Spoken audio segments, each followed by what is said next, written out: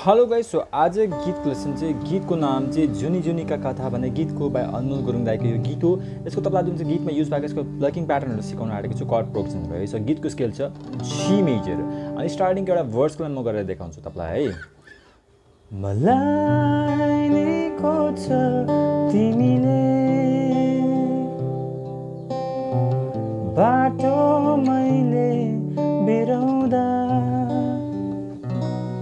यस्तो कुरा चाहिँ स्टार्टिङको वर्ड्समा।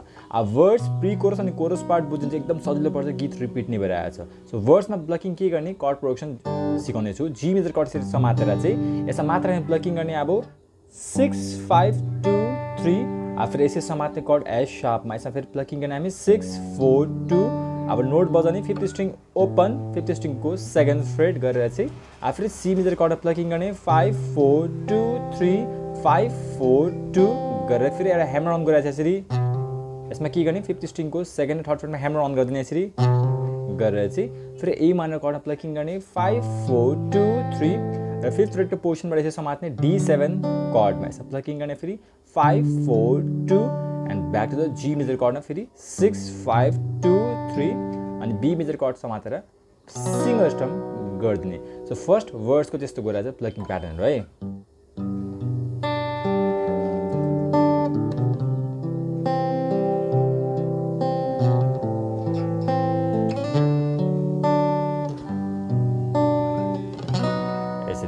गइरहेछ सो अब लाइनसँग वर्ड्सको लाइनसँग गरेर देखाइदिन्छु है।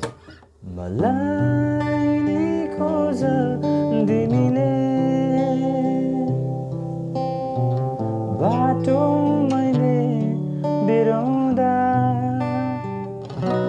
यसरी गइरहेछ अब फेरि वर्ड्सको सेकेन्ड लाइनमा कड अलमोस्ट हामी सेम गर्ने। जी मिटर फेरि प्लकिङ नै गर्ने। सिक्स फाइभ टू थ्री फेरि एफ सापमा सेम गर्ने। सिक्स फोर टू फेरि नोट नै बदल्ने फिफ्थ स्ट्रिङ ओपन र सेकेन्ड फ्रेड र सी मेजर कर्ड्समा प्लकिङ गर्ने five four two three five four two गरेर फेरि ह्यामर अन गर्ने फिफ्थ स्ट्रिङको टू र थ्रीमा गरेर फेरि ए माइनर कर्ड प्लकिङ गर्ने फाइभ फोर टू थ्री अब फेरि डी सेभेनमा प्लकिङ गर्ने फाइभ फोर टू र अब जी मेजरमा मात्रै एन्डिङ गरिदिने सिक्स फाइभ टू थ्री गरेर यसमा बी मेजर चाहिँ हामी एड गर्नु हुँदैन सेकेन्ड लाइनमा यसरी है तिम्रो आवाज नै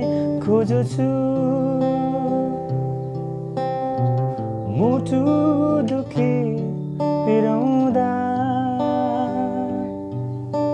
यसरी गरिदिनु सेकेन्ड टाइममा अब हुन्छ प्रि कोरसबाट अब प्रि कोरसमा कस्तो छ प्लकिङ प्याटर्न कर्ड प्रोडक्सन म लाइनबाट तपाईँलाई गएर देखाइदिन्छु है आफ्नो बाटो त लाग्नु छ आफ्नै कथा लेख्नु छ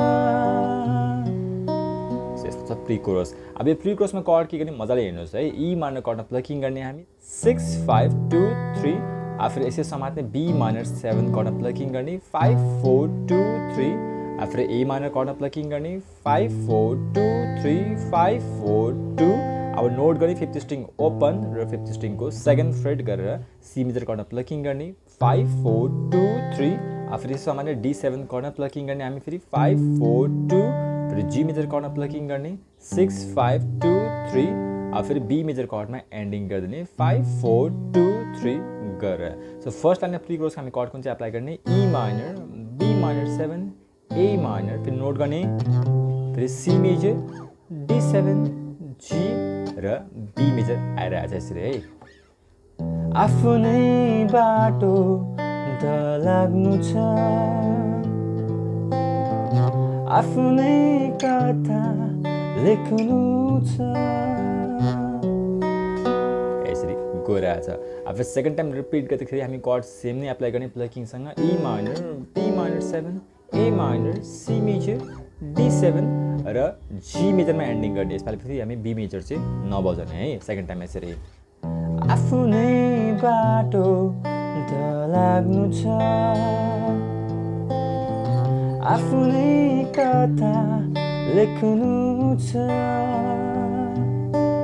यसरी गरिदिने। अब आउँछ मेन कोरस पार्ट कोरसको फर्स्ट लाइनमा कस्तो छ म कोरस पार्ट तपाईँलाई गरेर देखाइदिन्छु है। तर माया गर्न मलाई। यस्तो गोरा छ कोरसमा। अब चाहिँ के गर्ने? पहिला हामी नोटबाट स्टार्टिङ गर्ने यसरी। यसमा के गर्ने? फिफ्थ स्ट्रिङ ओपन फिफ्थ स्ट्रिङको सेकेन्ड फ्रेड बजाएर चाहिँ सी मेजर कर्डमा प्लकिङ गर्ने five four two three after D सेभेनमा plucking गर्ने five four two three after B minor seven गर्न प्लकिङ गर्ने फाइभ फोर टू थ्री र ई माइनरमा एन्डिङ गर्ने सिक्स फाइभ टू गरिदिने यसरी है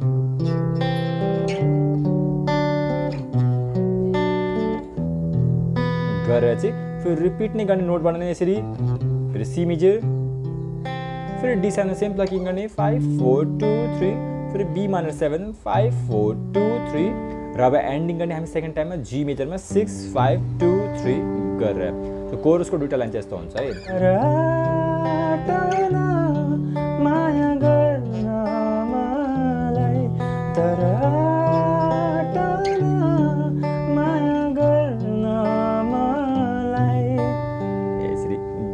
फेरि कोरसको लास्ट लाइन फेरि के गर्ने म तपाईँलाई प्लकिङहरू भन्छु है। पहिला नोटबाट स्टार्टिङ गर्ने यसरी।